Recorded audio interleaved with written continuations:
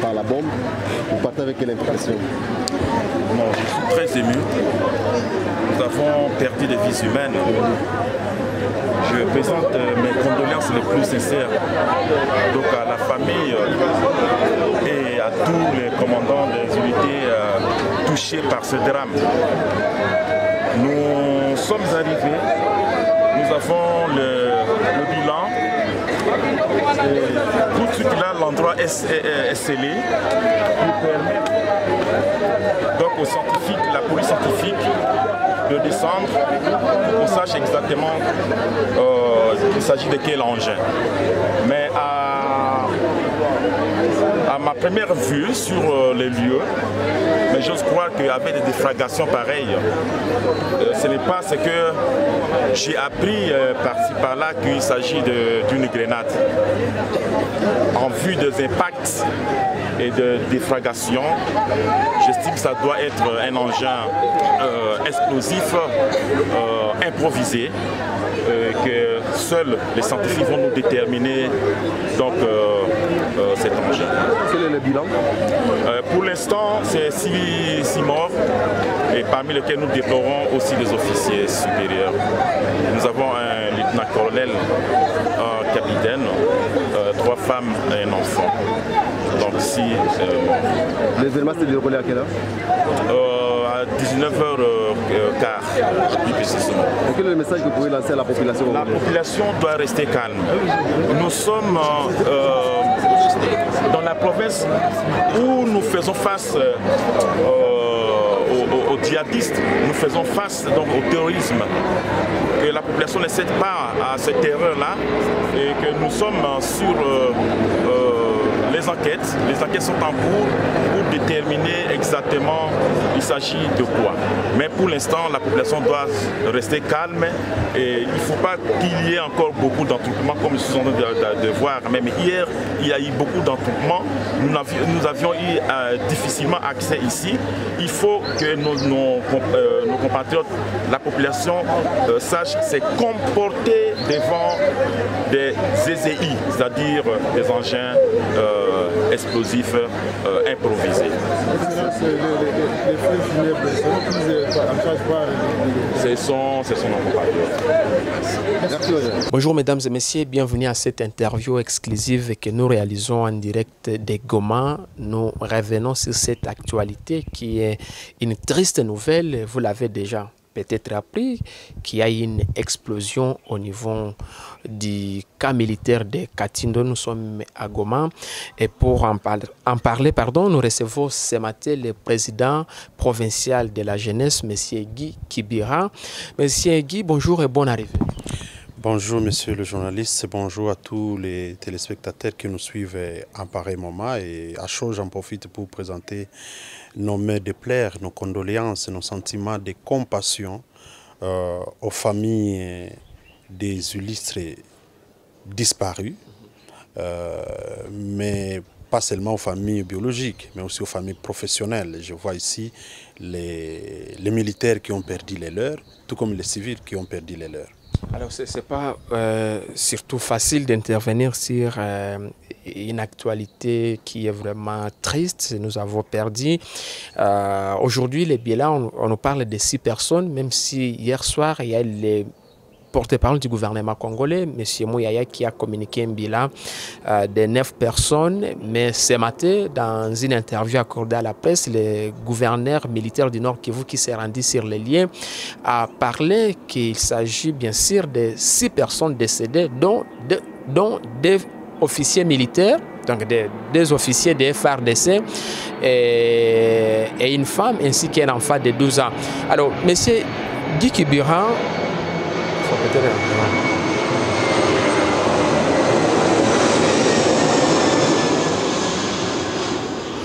Alors, président Guy Kibira, parlez-nous comment personnellement d'abord vous avez reçu cette euh, nouvelle? C'est avec beaucoup de cons- de- beaucoup d'émotions que nous avons reçu cette nouvelle. Vous savez que c'est vrai, notre province est en guerre et que chaque jour nous enregistrons des morts, euh, notamment dans les Beni, dans les Butembo, Walikale Massissi, Niragongo, Lubero, Ruchuru, mais même à Goma. Mais nous pensons que des morts, euh, les morts d'hier sont des morts de trop. De trop parce que, euh, à mon humble avis, ce sont des situations qui pouvaient être évitées. Nous sommes de ceux-là qui ont toujours fait des dénonciations, n'est-ce pas? Des cas de déviation qui s'opèrent dans les camps militaires de Katindo. C'est vrai, Goma, à l'époque, les années 80, 90, n'avait pas autant de population qu'aujourd'hui. Et il était tout à fait normal que nous ayons un camp euh, au niveau où on appelle Kakatino, puisque c'était aux environs de la ville de Goma. Je rappelle qu'à l'époque, il n'y avait pas de maison là-bas. Quand vous alliez là-bas, c'était presque comme euh, une route nationale, euh, ce qui est même vrai, puisque ça va vers Sid Kivu. Après, là, c'était le parc. Mais au jour d'aujourd'hui, avec l'évolution de cette province, des guerres en répétition qui ont amené à des exodes rurales, Goma est agrandi, a évolué, Goma est surpeuplé, à telle enseigne que même ce qui a été auparavant le camp a été menacé par des populations civiles. L'étendue du camp Katindo n'est pas celui que vous avez aujourd'hui. Jusqu'à ce que les services même spécialisés sont entrés dans la vente d'une partie de ces camps. Bref, ça, ça a été confondu à la cité et les militaires qui devraient être casernés se sont retrouvés à Nîmes, puisque en pleine ville. Alors que c'était à l'époque un camp où il y avait des réserves pour renforcer la sécurité dans la ville de Goma, moins peuplée qu'aujourd'hui. Et toutes les fois que nous avons eu à rencontrer les autorités compétentes, je me rappelle la dernière fois, l'année euh, passée, vers novembre, nous avons clairement dit au chef MG, chef d'état-major général de FARDC, lorsqu'il est venu évaluer la situation, l'état de siège au nord Kivu, alors qu'il y avait encore incursion dans les territoires de Niragongo et dans les nous lui avons dit que parmi les éléments qui entretiennent l'insécurité dans la ville de Goma, il y a aussi des choses qu'il fallait qu'il s'en occupe. La première chose, c'est la présence des officiers militaires dispo, dits dispo, sans emploi, qui passent leur journée en train de jouer au Mangoura et qui, le soir, sont en train d'égorger des, chèvres et consorts. Vous ne savez pas quel travail ils font. Des, officiers sans emploi, sans fonction, mais qui ne manquent de rien. Toute la journée en train de jouer au Mangoura, mais vous voyez qu'ils ne manquent de rien.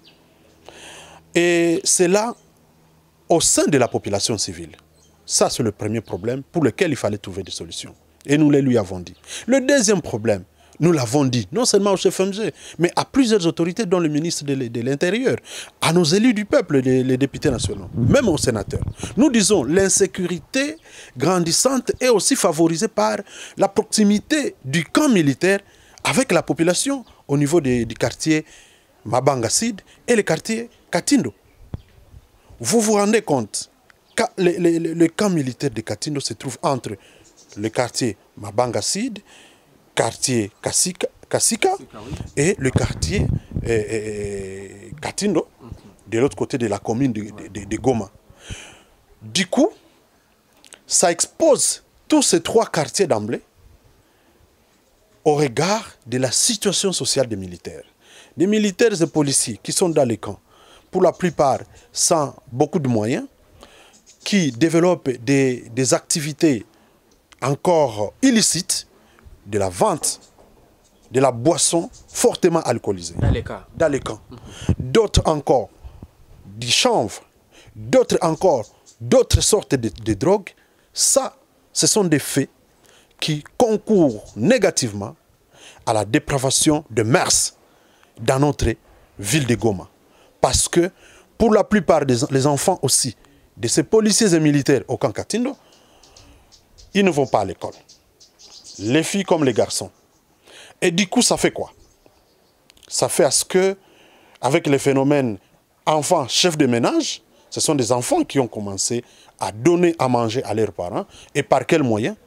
Si ce n'est que par des moyens non recommandés aussi. C'est la prostitution. Et je pèse mes mots. Il y a la prostitution qui est entretenue dans les cacatindo. Il y a la vente de boissons fortement alcoolisées. Il y a également la vente du, du chanvre. Et curieusement, comme si ça ne suffisait pas, il y a des commerces qui se développent autour de tout ça. N'est-ce pas? Et entre autres, des Nganda. Des Nganda qui ne sont qu'autre que des bistrots. Ou des endroits. Dans un camp militaire. Dans un camp militaire. Où on devrait, en principe, dans des Nganda, ce sont des lieux publics qui devraient recevoir tous les gens de tous bords. Mais curieusement, le premier preneur sont des militaires et policiers qui viennent armés. Et donc, les cas des, des, morts enregistrés la nuit d'hier pour aujourd'hui, je pèse mes mots, j'ai dit, pouvaient être évités s'il y avait de la rigueur et des, des, mesures préventives. Parce que si on avait pris en considération notre cri de cœur, les cris de cœur de la société civile, d'autres organisations, mouvements citoyens qui ont toujours décrié cette présence du camp militaire, eh bien, on n'aurait pas peut-être assisté à cela. Parce que euh, tout, tout de suite là, on ne peut pas vous dire c'était dû à quoi. C'est peut-être par une mauvaise manipulation, peut-être par imprudence. Mais tout ça, ce sont des faits qui peuvent être évités et faire en sorte que la population civile ne court pas autant de risques. Écoutez, les six morts, il n'y a pas que des officiers militaires, il y a aussi des civils. Et donc, nous regrettons beaucoup cette situation, mais nous pensons que cette situation ne s'éloigne pas d'autres situations sur d'autres territoires de notre pays. La situation qui s'est vécue à Goma, ça a été vécu euh, au chef-lieu de notre pays, à Kinshasa.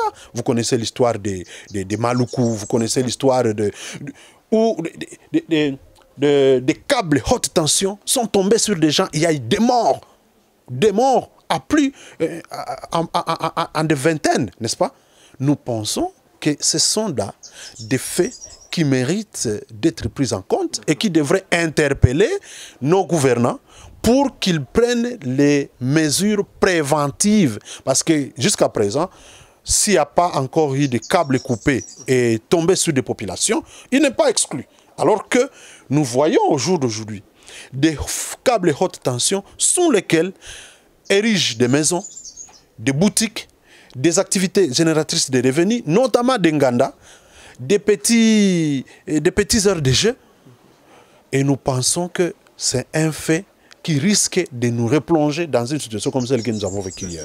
Euh, Président Guy, on, a l'impression, et d'ailleurs on se rappelle bien, euh, à l'arrivée au pouvoir du président Félix Tshisekedi, on a vu un chef de l'État en tout cas qui veut euh, mettre tout en ordre, mais on se rend compte qu'il y a certains éléments qui, qui l'échappent. Selon vous, qu'est-ce qu'il faut concrètement? Parce qu'on voit on a l'impression qu'on a un chef de l'État qui a une volonté d'apporter euh, des bonnes choses à, à, la population congolaise. Il faut quoi concrètement? Je pense que dans notre pays, nous avons presque tout pour que l'ordre règne. Nous avons tout en termes de textes. Nous avons des services, même si leur qualité reste aussi à désirer. Et là, la réponse serait claire. Ça serait la, des réformes pour euh, doter à ce service des compétences nécessaires et les doter également des outils nécessaires pour bien faire leur travail. Mais le plus grand problème que nous avons, il faut le dire, c'est un problème d'homme. La culture, la mentalité de l'homme congolais. L'homme congolais qui est à l'aise de rester dans un environnement malsain lorsqu'il est au Congo, mais il suffit qu'il traverse de l'autre côté ici, de la frontière, pour qu'il revienne juste, normal, respectueux des textes. L'homme congolais qui, refuse de peindre sa voiture taxi-bus en couleur demandée par l'autorité urbaine, mais arrivé de l'autre côté de la frontière, il monte les taxi-bus peints à des couleurs propres au taxi-bus. Il refuse de monter sur une moto et porter sa casque de protection mais quand il va chez autrui, il respecte cette norme. Vous voulez parler du Rwanda voisin Je parle bien entendu du Rwanda, il n'y a pas de secret à le dire. Le Rwanda, c'est un pays que nous sommes obligés de vivre ensemble. Et donc, nous devons nous, nous, nous, nous influencer. Les bonnes choses qui se, se, passent ailleurs, nous devons les pratiquer. Ça s'appelle l'élégance. Ça s'appelle la, la, la, mutualisation des bonnes pratiques. La mutualisation des bonnes pratiques au-delà de tout ce qui s'est dit euh, sur les Rwandais avec la RDC, Monsieur le Président. Bien entendu, nous n'avons pas que tout en rose au Rwanda. Encore que le Rwanda, c'est un pays qui a aussi des dirigeants qui sont passagers. Certes, les dirigeants, de part et d'autre, peuvent avoir leurs forces et faiblesses, mais ils sont passagers. Il viendra un jour, cette classe montante, la jeunesse d'aujourd'hui qui apprend de plus en plus à vivre ensemble, à, développer euh, des relations de fraternité, d'amitié, de, de bon voisinage, qui seront aux affaires et qui pourront vivre en paix, contrairement à ce que nos aînés nous sont, sont en train de nous imposer aujourd'hui. Parce que eux, ce sont des de, de gens qui profitent de la crise actuelle. Aujourd'hui, nous, notre génération, c'est une génération qui pense que les ressources qu'il y a au Congo, les Congolais ne peuvent pas en profiter seuls. Et qu'il faut s'ouvrir aux autres pour que ça nous profite tous, que ça ne fasse pas objet des de, de, de, convoitises et des guerres que nous connaissons aujourd'hui, parce que ce n'est pas un secret. Aujourd'hui, on reproche au Rwanda le fait d'être complice à l'exploitation illégale de nos ressources, à, à, au fait d'entretenir les groupes armés au niveau de notre territoire congolais, mais également d'accorder asile à des groupes rebelles sur son sol, le Rwandais. Ce sont des faits qui se traitent sur un certain, dans, un, dans un certain sphère, mais nous pensons pour nous comme population. Il y a d'autres faits que nous vivons, des, bons, qui méritent d'être euh, euh, salués. Nous avons l'expérience du projet euh, Akuna Matata. Euh, les, les, les, qui, qui, a mis en, en, en, place les jeunes Congolais et Rwandais. Nous avons le projet Amani Amaor avec les scouts du Grand Lac. Nous avons le projet Jeunes Volontaires pour la paix et la reconstruction des pays du Grand Lac. Nous avons des partenariats entre Vision Jeunesse Nouvelle et, et Corps des de, de, de, jeunes volontaires et, et, choses, et, la jeunesse congolaise en ville de Goma. Ce sont des rapprochements qui, pour nous, sont des atouts majeurs pour que demain ou après-demain, nous vivions en paix parce que nous, on aura à préparer notre avenir, à vivre ensemble dans la concorde. Mais pour revenir à ce que je disais, j'étais en train de rappeler que la responsabilité ici n'incombe pas qu'au seul gouvernant. Ceux-là qui acceptent d'aller acheter des parcelles en dessous des lignes haute tension, il y a de quoi se poser des questions si eux-mêmes sont normaux ou pas.